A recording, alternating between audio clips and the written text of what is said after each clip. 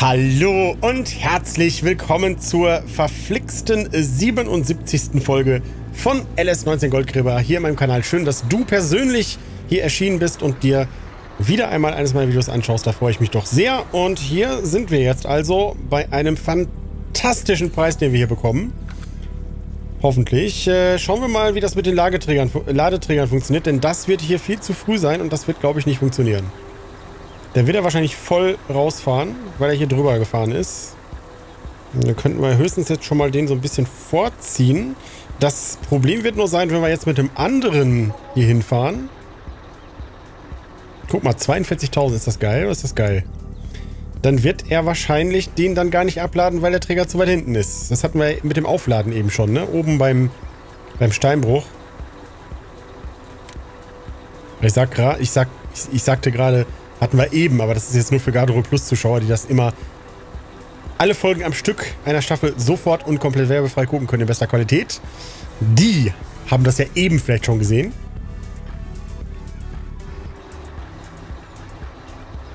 Ja, das ist, ja...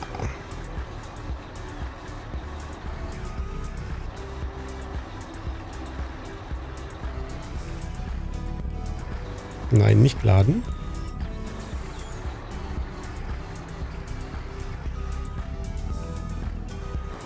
Einen kleinen Ticken noch, habt ihr gesehen? Einen Ticken noch. Das ist so ein geiles Wort. Einen Ticken noch. Komm, einen kleinen Ticken noch. So.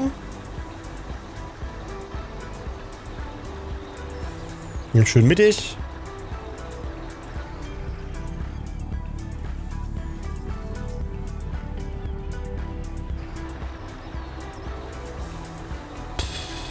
Das ist aber...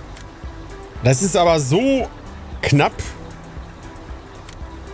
Da kannst du aber mal gucken, kannst du da aber mal. Aber es hat funktioniert und wir haben schon wieder 200.000 im Konto. Jetzt bloß nicht die Zeit vorlaufen lassen, weil wir haben ja gerade so einen guten Preis. aber dann kriegen wir natürlich die Goldpaletten nicht verkauft, ne? Eigentlich wollte ich das ja gerade... Hm, mal gucken. Auf jeden Fall schön, dass du wieder da bist. Und dann gucken wir mal, was wir stattdessen machen. Also erstmal wieder hier voll machen, klar.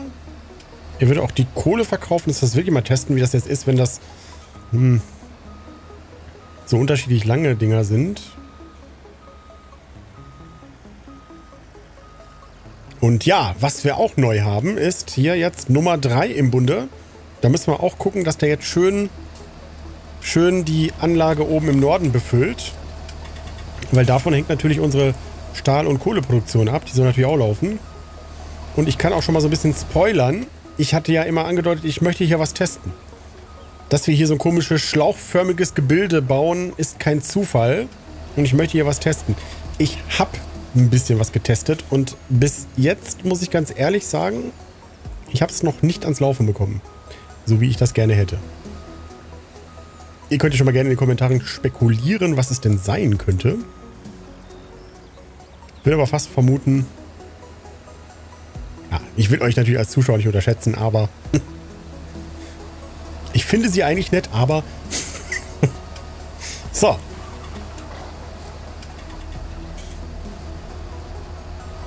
Ab und zu mal ein bisschen Zuschauer-Dissen muss sein. Ich könnte natürlich auch jetzt ein Video anfangen mit Hallo, meine Freunde oder so, aber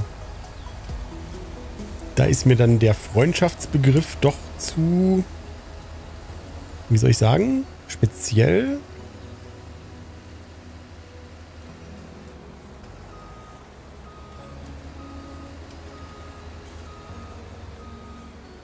So. Und eventuell würde ich ja auch wirklich dann alles gegen Volvo, Volvo, Volven tauschen. Volven? Volve tauschen? Zurück. Mal gucken, wie das jetzt aussieht ohne Tailgate. Tailgate London. Der wird auch beim dritten Mal nicht lustiger, glaube ich. Ja, machst nix. Aber gut. Du als mein Zuschauer bist ja Kummer gewohnt. So, und ja, wenn euch das Projekt gefällt, dann lasst es doch gerne mich wissen, indem ihr einen Daumen da lasst, ein Abo da lasst und die Glocke anmacht. All das signalisiert YouTube, dass dieser Content doch bitte aufzufinden sein sollte, wenn denn jemand auf YouTube nach diesem oder ähnlichen Ding sucht. Und ja, das geht nur mit deiner Hilfe. So ist es nun mal. Da, da musst du auch mal ein bisschen mitarbeiten als Zuschauer. Das äh, geht nicht anders. So, wir gucken uns das mal an.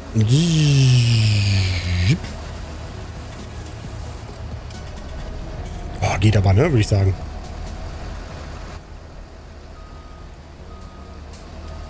Kann man mal machen. So, dann haben wir das geschaufelt. Dann, äh, was, was hatten wir dann? Kohle, direkt Verkauf. Mal gucken. Und Gold müsste ja auch eine Palette wieder durchgelaufen sein. Die wird aber wahrscheinlich nicht voll sein, ist das Problem. Und es juckt mich in den Fingern dann auch das mit dem Stahl zu probieren. Das heißt, ich würde dann vielleicht die beiden Goldpaletten verkaufen fahren. Je nachdem, wie der Preis ist, gucken wir gleich. Sind wir mal gespannt.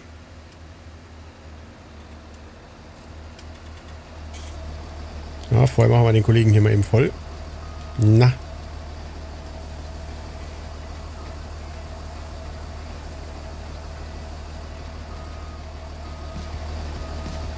Ich finde es übrigens sehr schön, wie im Moment der Kommentarbereich, auch wenn er etwas ruhig geworden ist in letzter Zeit, äh, selbstregulierend doch ist. Da kommen ab und zu kommen mal so Schwurbelleute, die da auftauchen. Ähm, die Filterblasenopfer. Ich, ich will den Menschen ja nichts, denen muss ja eigentlich im Wesentlichen nur geholfen werden. Ähm, und dann gibt es wirklich sehr viel Selbstregulierung von euch, sodass vieles gar nicht bei mir aufschlägt, was mir schlechte Laune machen würde. Also ganzen, was so in diese ganzen Verschwörungsrichtungen geht, ist ja gerade im Moment ziemlich schwierig.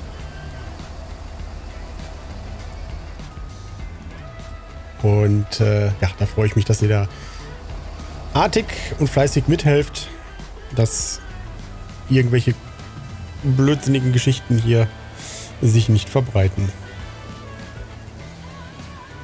So.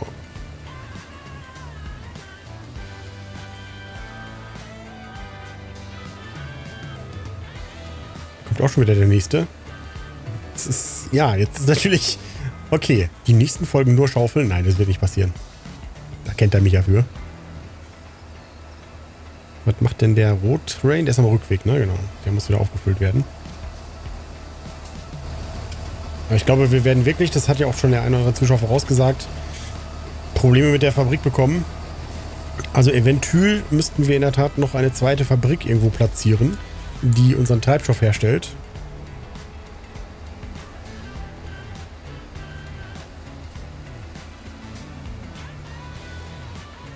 Und wir müssen sowieso mal gucken, ähm, wenn die Fahrzeuge, die wir im Einsatz haben, tanken müssen, würde ich ja dann auch gerne nicht auf den abgestorbene Pflanzen von vor Millionen Jahren Treibstoff zurückgreifen, sondern auf den nachhaltigen. Da bin ich mir noch nicht ganz schlüssig, wie das funktioniert, weil, naja, wir hatten ja immer... Ihr erinnert euch vielleicht noch in den ganzen Let's Plays seit LS13 hatten wir immer so einen Servicewagen. Ich glaube, zum ersten Mal habe ich den richtig eingesetzt in... In der, auf der Proform, glaube ich, war das, ne? Da haben wir den zum ersten Mal eingesetzt. Oder? Das ist gerade gar nicht mehr. Und dann fand ich es immer recht praktisch, ne? Da war dann alles drauf, was man so brauchte. Und easy. Lief. Ah ja, was wir jetzt noch gucken müssen, ist natürlich, ob jetzt der Kollege da oben vernünftig in die Nordanlage einkippt. Weil die Träger sind natürlich auch anders bei einem anderen Fahrzeug. Wo ist er denn? Bewegt sich erschreckend langsam. Nicht, dass da was passiert ist. Oder wäre er irgendwo vorstehen geblieben? Oder wieder irgendwelche Fahrzeuge nicht zurück zum zur Halle gefahren sind. Und da fragt ihr euch natürlich, ey, Garderol, du hast doch Autodrive drauf. Da kannst du doch dann eh einstellen, dass die Fahrzeuge automatisch zurückfahren. Warum machst du das nicht, du Haiopai? Oh. Tja. Aber, wie ich ja schon eben sagte, du bist ja als mein Zuschauer durchaus zuweilen Koma gewohnt. So. Alright. Ähm, ja, hier geht's nicht weiter. Ah ja. Mhm.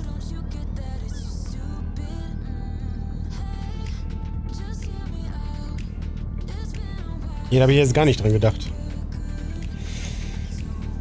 Natürlich, das muss ja auch noch alles größer werden. Hm. Kriegen wir den ein bisschen gedreht? Ja.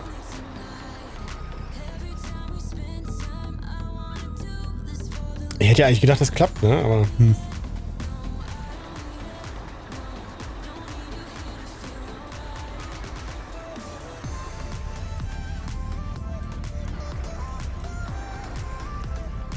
Warum er nicht?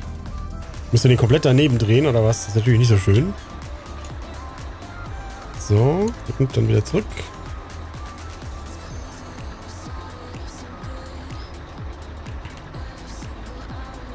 Er will nicht. So. Gut. Äh ja, da müssen wir einen viel größeren Wendekreis wahrscheinlich haben hier, ne? Ich hätte auch dran denken können.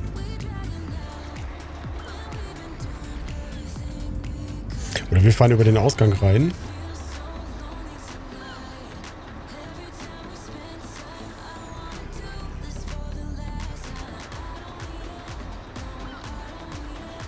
Ah, muss, eigentlich muss der schon das schaffen hier. Aber wie machen wir das? Da müssen wir quasi in der JWD hier irgendwie.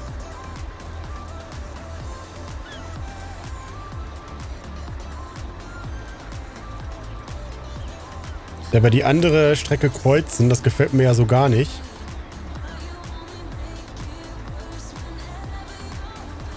Und dann müsste er irgendwie hier wieder zurück rein, ne?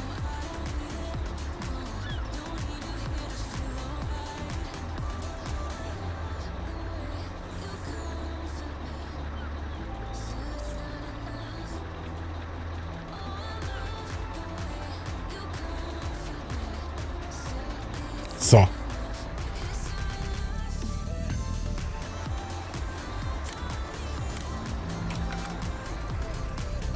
Das gefällt mir nicht, weil es hier die andere Strecke kreuzt, ganz ehrlich.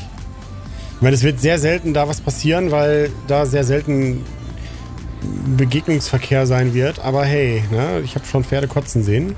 Auf dem Flur, vor allen Dingen. Vornehmlich.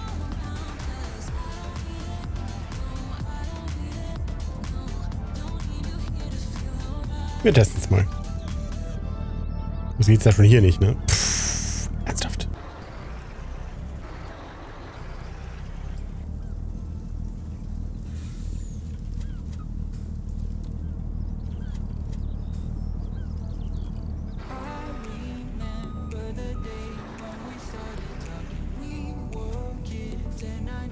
Oh Mann.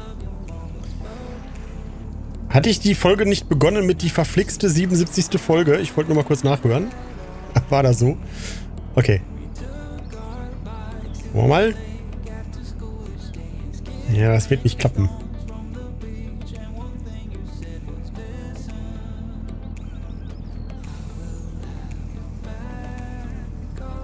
Dafür ist das einfach ein äh,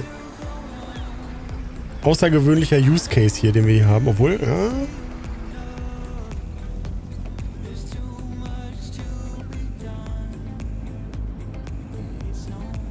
Okay. Okay. Gut, haben wir geschafft. Äh, dann, äh, wir wollten mal ganz schnell... Ja, ist er doch schon. Oh. Ja gut, das... Das habe ich nicht kommen sehen. Der ist ja einfach zu schnell da reingebrettert und das ist nicht ganz mittig. Hm.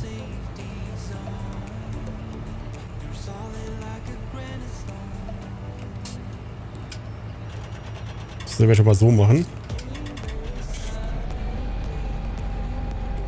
Hätte ich auch nicht daran gedacht, dass das möglicherweise zu eng werden könnte hier.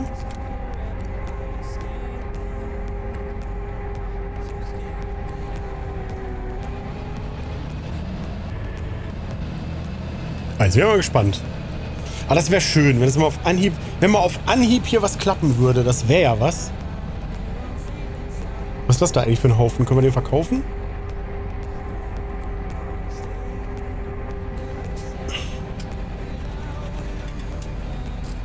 So, wir schauen. Ich bin gespannt. Ja, mal einfach hier rüber. Ich habe da schon mal was vorbereitet. Ich habe möglicherweise sollte ich dann hier die Triggerpunkte auch noch ein bisschen vergrößern, weil dann können wir theoretisch einfach nur durch vorbei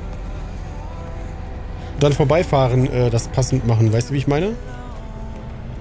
Ja, er fährt ran.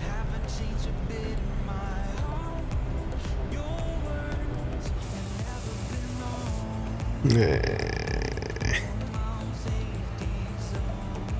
Warum?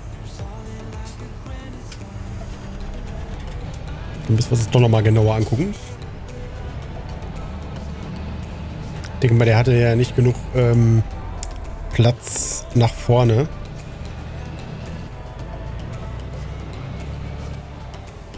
Die fahren ja auch immer so komisch.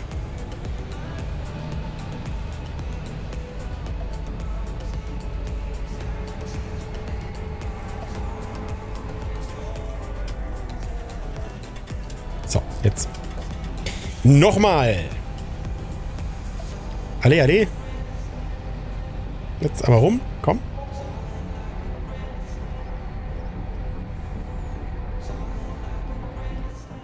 Ja, wir müssen nur ein bisschen weiter drehen, glaube ich. Das heißt, wir machen den weiter nach vorne. Dann hier alles einmal weiter rum.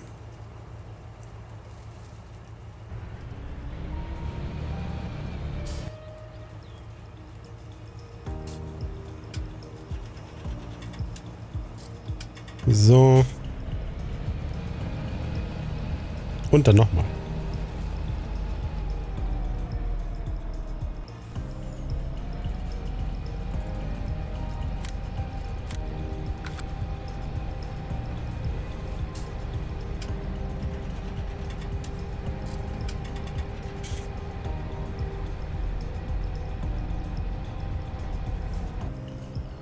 Der fährt nicht weit genug. Warum nicht? Aber es könnte passen so.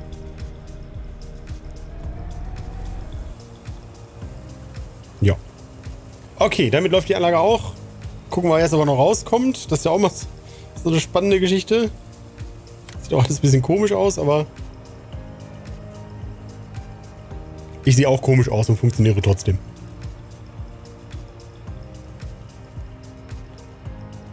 Na?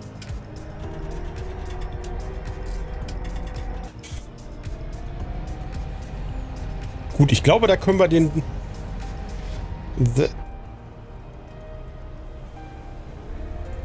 glaube, da können wir den Triggerpunkt nochmal versetzen, hier hinten den. Aber da kommen wir jetzt gar nicht dran, ne?